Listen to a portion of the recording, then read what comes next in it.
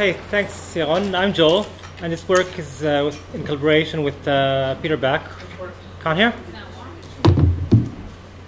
I'll talk here. Better. Okay. So I'm Joel, and this work is in collaboration with uh, Peter Bak from IBM Research, who gave a great talk uh, yesterday, and with uh, Tzvi Kuflik from the University of Haifa. And uh, like Yaron said, I lead a human-computer interaction and visualization lab at the University of Haifa. Uh, we do lots of cool stuff. We do lots of interaction, uh, gesturing, augmented reality, um, or uh, interaction with large displays. And we also examine, we also look at visualization. So uh, on the bottom here, you see our efforts in visualizing um, the information and communication technology ICT index uh, of Israel. So we try uh, here to visualize time based. So the ICT index is kind of an index that says um, for each uh, city uh, how advanced it is in ICT, and we try to see um, how it goes through time. It's multidimensional. There's many dimensions for uh, each um, index, and this effort is led by Yael Albo, who's um, hopefully will show this next year. today I want to talk about museums. Um, the roles of the muse- museums have changed. Um, if in the past they were merely uh, exhibiting objects, they were keepers and exhibitors of important heritage objects, uh, then they changed to interpreters of these objects, and um, finally to encouraging visitor uh, interpretation and visitor learn, uh, and learning of visitors.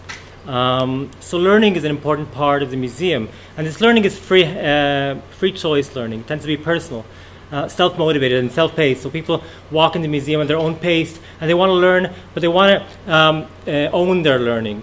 They want to uh, learn uh, in an exploratory way and in a non-linear way. Um, so here, here we can see uh, people in the museum and we see their behavior changes. Some people walk uh, fast, some people sit and maybe get the atmosphere of the museum. Some people stop and, and look at an exhibit for a long time or for a long period of time. Uh, some people come in groups. And um, again, all, all, this behavior uh, varies a lot and it depends upon the personal motives, uh, motivations, um, background, and all kinds of stuff. Um, here we see a fast forward movie of uh, visitors. And again, there's very different kinds of visitor behavior. A group behavior in the museum is very important. Many people come to the museums, uh, small groups of family and friends. Um, some people follow a leader, so maybe a parent with small kids. Other uh, visitors that come together and want to experience the uh, museum experience together and wants to see things together. Um, others just come together and then they separate, and each person goes to their own points of interest. Um, so we wanted to think. Uh, the main uh, point of this project was how can we visualize museum visitor behavior patterns? Can we try to visualize these patterns? Um, and this um, research was done at the Hecht Museum. Um, anybody here visited the Hecht Museum? Okay, so quite a, quite a few. Uh, the Museum is a very nice, uh, small to medium-sized museum, uh, located very conveniently for us at the University of Haifa.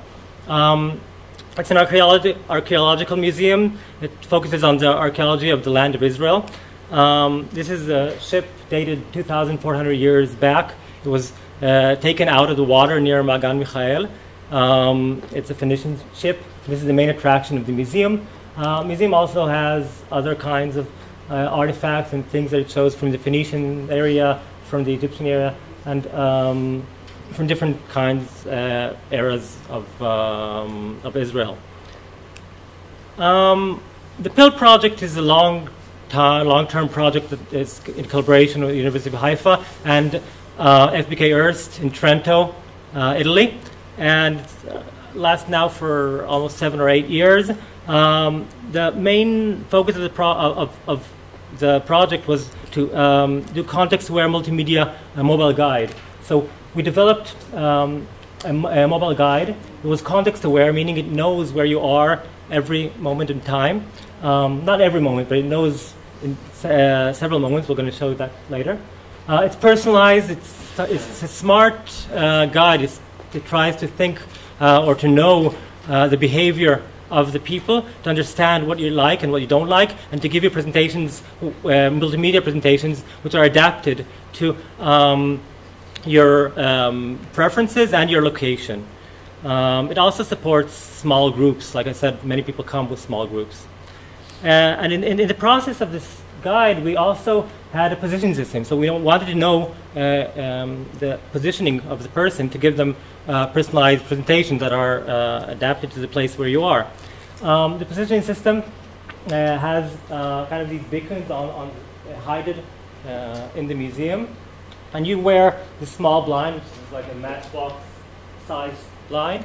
Uh, and this is based on RF technology. And when you enter the area of the beacon, we know that you are there. The uh, blind communicates with the beacon and then sends a message to our server. The server parses it and gives you a presentation or information about the location you are uh, you're at.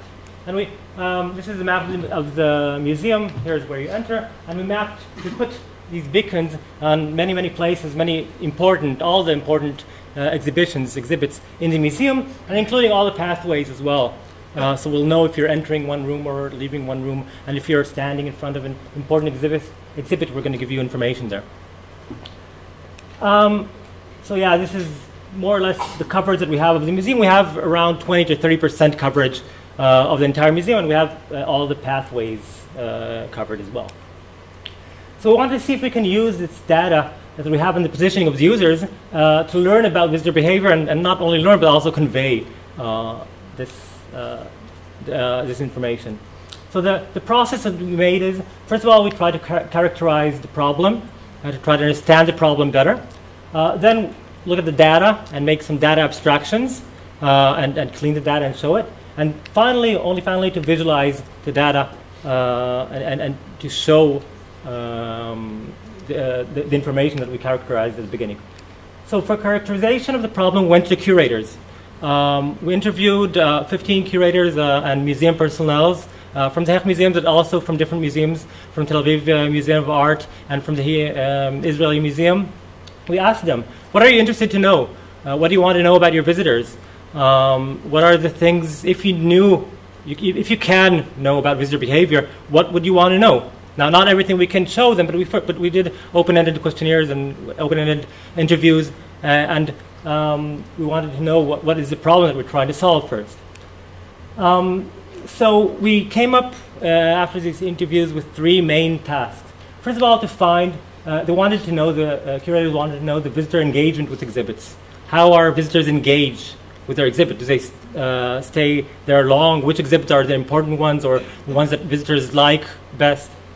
and stuff like that. Second, uh, they wanted to know about circulation in the museum. How do people uh, walk around?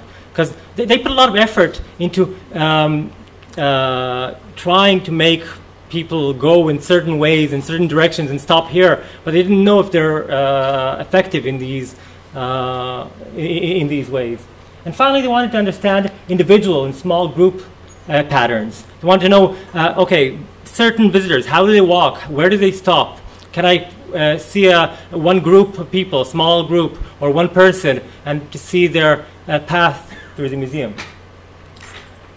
Um, so I'll, I'll, go back to the uh, task analysis, but then we went to the data. After we knew more or less what we wanted to do, we went to the data, and we gathered 567 uh, real visitor uh, information with and without mobile guides. So some of them went with a mobile guide that gave them information uh, about the uh, exhibit. Some of them went without. Um, this was this took about a year.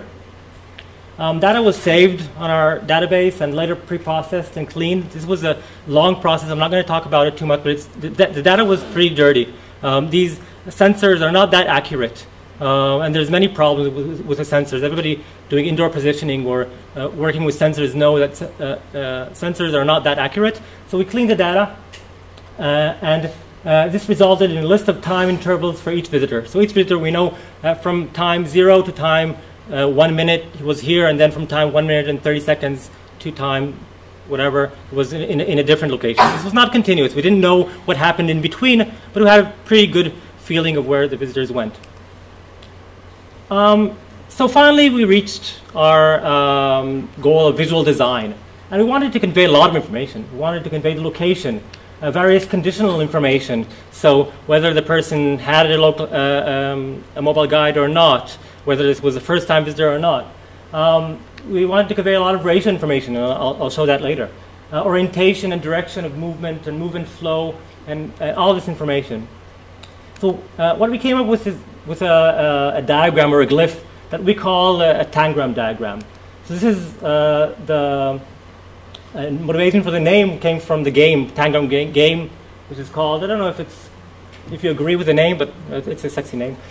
Um, anyway, we wanted to show, uh, it, it, conveyed a lot of information. It can convey a lot of information. The size of the glyph can show uh, absolute size, uh, can, be, can, can, be matched to one attribute, and the ratio of the inner uh, triangle and the outer triangle can be conveyed to another uh, attribute.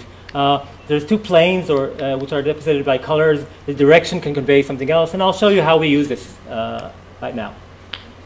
So first of all, I wanted to use this diagram to show the engagement with exhibits. And um, from the uh, interviews, we found out that engagement, engagement actually can be um, uh, translated into two, uh, two things. Holding power, which means for each exhibit, how long the person stays there. So how, how, much, how much holding power it has. If a person stays a long time at an exhibit, it has a, a large holding power. Attracting power, on the other hand, shows uh, how many percentage of the person, of the people visiting the museum, go to that exhibit. So you can think of, for example, uh, the Mona Lisa. It has uh, probably a high attracting power because everybody goes to the Louvre, has to see the uh, Mona Lisa. It possibly has a low holding power because maybe there's a, a large, a lot of people there, and you just kind of glimpse at it and go away. Or, or, maybe if you're very interested in it, it might have a holding power, a high holding power for you. So we wanted to show holding power and attracting power. We also wanted to show how does the usage of the mobile guide affect engagement. Um, so we used the glyph that I showed before, and we mapped uh, holding power to the size of a triangle. We mapped attracting power, which is uh, basically a ratio, the percentage of the uh, people um, to the inner uh, triangle from the outer triangle, okay, so it's a percentage. And we mapped the color um, for with guide or without guide, people using the guide or people uh, uh, not using the guide. So you can see, for example, in this glyph, it can show maybe a high uh, holding power because it's large and a high attraction power because the circle, the, the triangle fills almost the entire triangle. You can see here, this is this has a lower attraction power, a lower holding power, sorry, but it has a higher a very high attraction power, and the usage of the guide here uh, is higher than the, without using the guide. And this one has a, a, a, smaller attraction power. So we map this to the, uh, we map this glyph, we put the glyph on each point, every exhibit that we have on the map, and we came up with this uh, visualization. And uh, people enter the museum from here. Okay? So you can see here, for example, if I uh, make it bigger, you can see at the beginning, the first place, it has obviously a high holding power because everybody, uh, not, not obviously, it has obviously high um, attraction power because everybody passes through it. Holding power, at the beginning, you still have a lot of energy, you have a lot of time, so you, you, you spend more time at the beginning, right? And this is the ship. This is the main attraction of the museum. At the end of the ship, the first place where you stop, it has a high attraction power, again, because it's filled up, and also has pretty much pretty high holding power. And you see this, this exhibit is very interesting. You see that the mobile guide in blue uh, made people stay there for quite a while. Okay, they made them stay a, lot. And indeed, there's a lot of information in the uh, guide there, very interesting information as well. Um, this is the second floor of the museum, and you can see that um, there's a very low attraction power there. People stay at the places they're uh, for a fairly amount of time, but the attraction power is very low. And this was very saddening, I guess, for the uh, museum curator when, when, they saw it, uh, because they have a very, very uh, interesting and, and, famous for them um, uh, collection of coins. Uh, that they gathered, and they said it's a great collection of coins, but apparently nobody, uh, not a lot of people see it. Um, so it's a point of concern, and, and the, the, museum curator said that she has to think of ways to make people go to the second floor. Um, our second task was to uh, take care of circulation. Circulation, general movement patterns of visitors between rooms, um, especially paths and junctions where people uh, went away. And we wanted to, say, to use the same glyph. So um, we mapped it a bit differently here. Um, the direction here shows uh, amount of people going from one room, from room A to room B, and from room B to room A. Um, and uh, the color or the inside ratio, so the ratio between first time visitors and uh, uh, the entire population. So, for example, if you look at this one, you can see that there's more people going from, from right to left than from left to right. And if you look at this uh, glyph here, uh, only people are going from right to left, and probably there's some, some sort of blockage there, uh, intentional blockage in the museum that allows people only to go from one direction to another. So we mapped this again to the rooms, to the uh, pathways, and to see where people go. And this, this uh, we show this to, to, curators. I'll talk about this a bit later. And we saw that the main paths that people took were from one right to two to seven to six to eight. That was one main path. We saw another main path from one to two uh, to three to four to five to eight, and then the way back. And this made a lot of sense uh, to, curator, to, to the curators when they saw it. Finally, we wanted to understand individual and small group temporal patterns. Um, so we use the same glyph uh, to show temporal patterns. Um, I'll just show it on, on, the visualization itself. Uh, the temporal pattern goes from up, from uh, above to below. Uh, colors deposits rooms, so different color is a different room. Um, and this is one visitor in, in, number one. You see that you go, and uh, every rectangle is a different exhibit and inside shows the amount of time he, uh, he or she uses the, the mobile guide. So we can see uh, this is a group of two people, A and B. This is also a group of two people, two people A and B. And we can see that in this group, uh, group number two, they came in together, but then they separated, and, and almost all their visit was apart. They didn't go to any exhibits together. And on the other hand, in group number three, you can see that they more or less went to the same locations all the time. Um, and if I look closer on, on this group, I can see that there's a certain that the, the person here, the uh, B, uh, entered, they went or entered uh, each exhibit a little before person A. You can see that they entered the room a little before here, a little before here, a little before here. Okay, and we also annotated uh, the exhibit names, but uh, that was a different visualization. Um, so this gave, again, the curators more an understanding, again, look at the group of three people, of how the group uh, interacted and how they walked in the museum in the temporal aspect. So for the evaluation, or to evaluate it, we went back to the curators uh, and we showed them these visual visualizations. Some of them we worked together during the entire process, so they weren't um, they, they, knew them already. Some of them saw them for the first time. Uh, they, they, were very pleased. They were very happy to see their assumptions or to see their, their behavior. They said that they never before really uh, th- thought about, or they thought about, but they didn't know how to assess or to look at how people walk or behave in their museum. And uh, a lot of their work has to do with what exhibit works, which exhibit works better or less uh, well. So they were very happy to see it. They said a lot of the information uh, confirmed uh, some of their hypotheses or some of their thoughts, and they also saw uh, some new things that they uh, uh, didn't think about. Um, what they asked more was some slicing of demographic attributes. Uh, have people to slice information according to age, to gender, to profession, or to large groups as well. Uh, in summary, um, we think these diagrams, these tangram diagrams, are a good way to encode ratio information. Um, we focus on ratio information, um, but we, we think this needs to be explored a bit better. Uh, some uh, maybe empirical examinations about, uh, about these diagrams.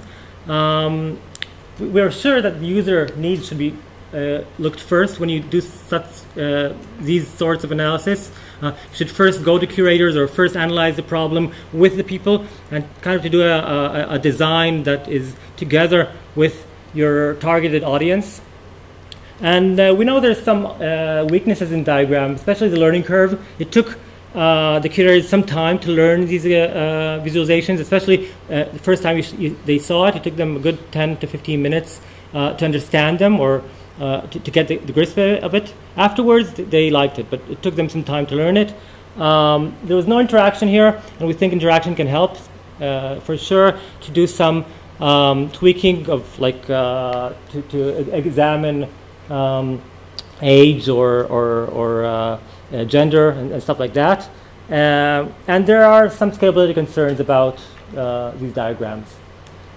Um, finally, we're trying now, we're working on uh, making this um, as uh, an interactive visualization, a web visualization tool for uh, museum curators. Um, this is only the beginning of, of the work. We're doing, we did some nice line charts or uh, bar charts, sorry, uh, about for the information we have, but we haven't incorporated uh, tangram diag diagrams yet. We did incorporate, we did try to put our data here, um, uh, but I, am not sure how, how uh, this graph is conveyed. We haven't showed it yet to anybody. Um, Sting graph, we tried that as well, but again, we're now uh, working on using uh, on employing the tangram diagrams in this uh, system. Um, okay, so that's all. I'll be happy to accept uh. Questions?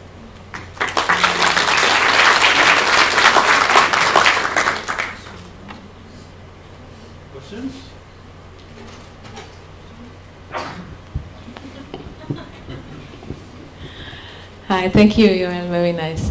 Um, following our uh, conference, uh, uh, did you occupy? Uh, did you had a designer in your group? Um, because uh, sorry, I, did you did you have a designer in your group? Uh, a designer in our group, yeah. no, no, no, we didn't. We didn't have any designer in our group. We're more information scientists than yeah. designers. Um, this tool. Uh, it's interesting to see in this conference uh, the difference I see between um, designers who are mostly interested in presentation of information uh, and I think computer scientists or, or uh, information scientists are more interested in, in an analysis of information. Uh, this tool uh, or work is more into the direction of analysis.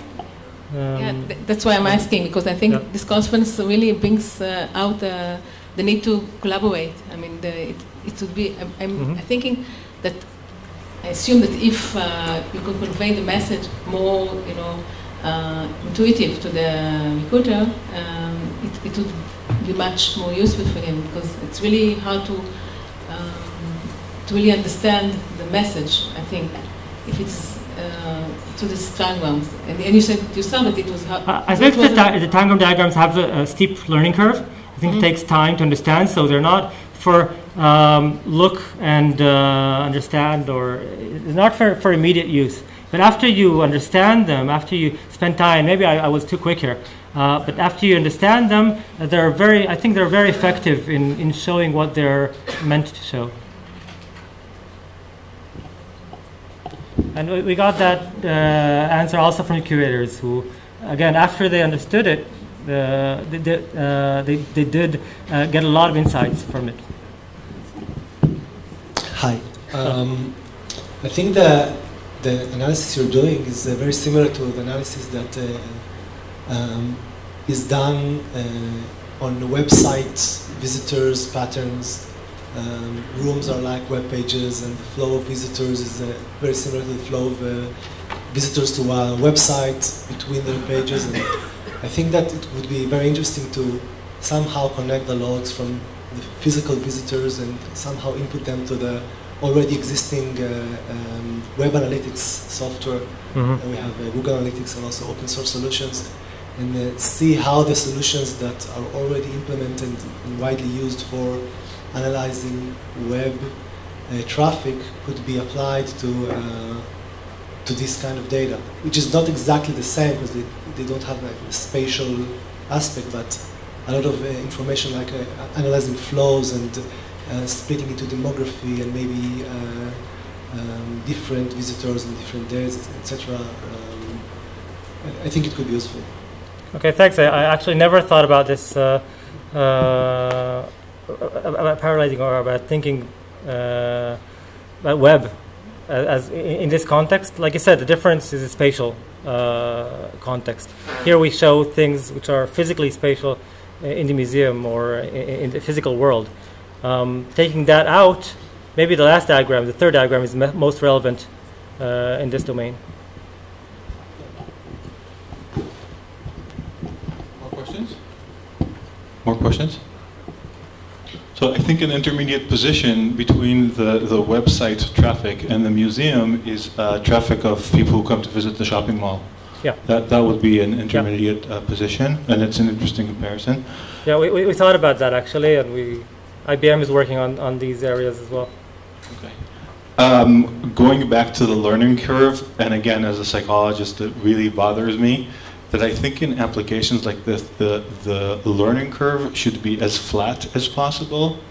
I mean, it should be something that if I receive the Tangram as a curator, I don't want you around to explain to me how to use it. So that's the learning curve. The other piece is that you come for a consulting session, you leave, and the next day I'm not sure that I'll, be, I'll that I'll remember how to use it.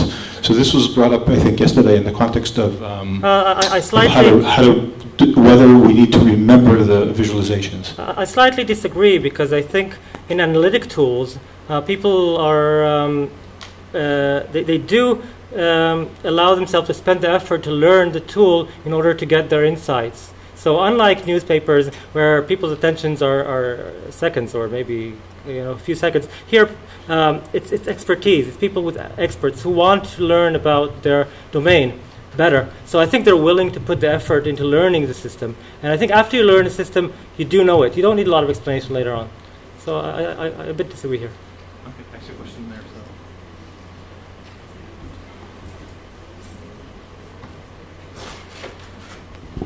Uh, I would just uh, like to stress uh, what uh, Joel just said. Uh, this conference deals with uh, two separate kinds of visualizations. There are exploratory visualizations versus expository visualizations, and exploratory are more messy and, and they are closer to the data and, and uh, you use them to see the data, and, and they don't have to be that polished. Versus expository visualizations that, uh, that have a more general audience in mind, and uh, you should label the details and uh, create some finished product. At least this is what I, I feel. So uh, the same, uh, it goes also for the legwork. Uh, who has to do the legwork? is it the user or the designer, the programmer, whatever? Yep, thanks, I agree. Okay, so the last question will go to Peter. Um, I'm craving for coffee. I hope everybody else is. Sorry, we'll make it short. Um, I just want to comment on the questions that were asked uh, previously. I, I, I, uh, my comment is you need to know your user. So before you know your user, it's easy to say that you need a better design or you need a, a flatter learning curve and so forth. But you, uh, once you know the user, you came up with uh, different constraints and different measurement of quality of the visualization. So yes, they can be designed nicer, more colorful, and more uh, pretty, and more uh, visually uh, salient uh, and, and appealing. But this is not the, the task that we had here at hand. And um, uh, the purpose here is, uh, is different and the user is different. So my advice would be to, to get to know your user first and then the tasks and then concentrate on the data. So this is the approach that we followed here.